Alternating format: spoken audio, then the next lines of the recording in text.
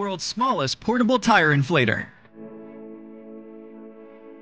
Remember the time your car got a flat tire? Or your basketball didn't bounce back?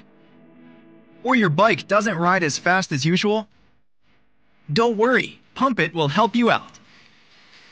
Simply remove the hose and the applicable nozzle, plug them in and screw it on the tire valve stem.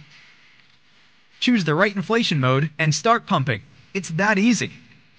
PUMPIT comes with a 40 centimeters 16 inch rubber air hose, a sports equipment needle, two high pressure nozzles for cars and bicycles. It covers almost all your inflation needs. A 4 modes in one design will intelligently preset a desired pressure once you press the button.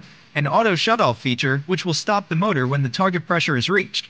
PUMPIT barely tips the scales over 1 pound and doesn't exceed 5.1 inches on any side, making it the smallest pump among all the competing brands in the market.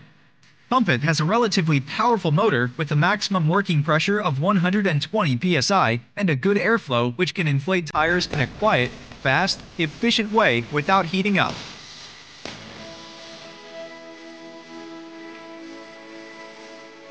PUMPIT has a power indicator and floodlight to make tire inflation or changes much easier, even in pitch black conditions. PUMPIT, a must-have emergency roadside kit.